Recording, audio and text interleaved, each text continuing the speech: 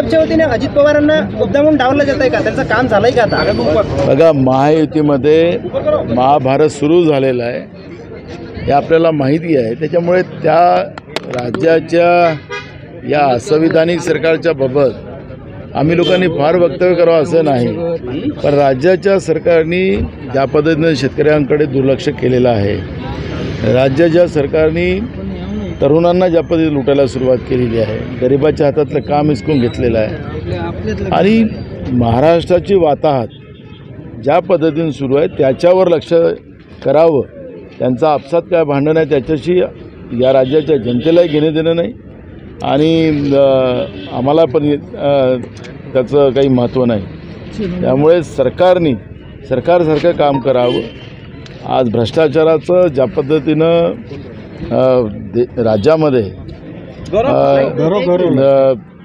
भ्रष्टाचारच राज्य निर्माण करण्याचं काम या सरकारने केलेलं आहे.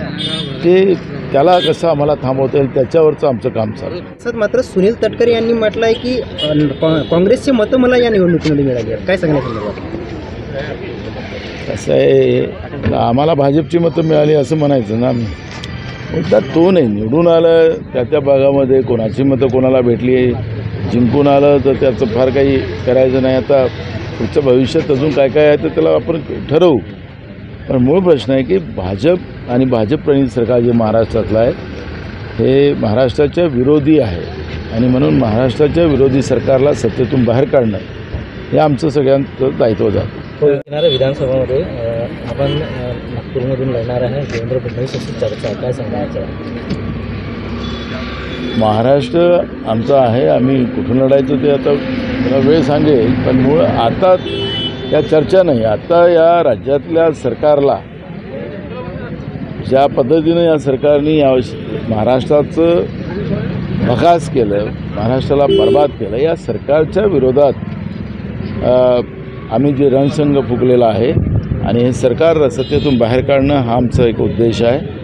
आणि म्हणून भाजपनी ते सरकार जे आहे ही महाराष्ट्रासाठी खऱ्या अर्थानं अडचणीची सरकार झालेली आहे.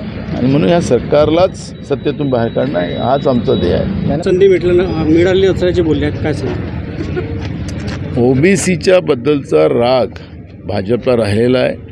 अनेक भाज ओबीसीच्या नेत्यांना त्यांनी संपवलेलं आहे.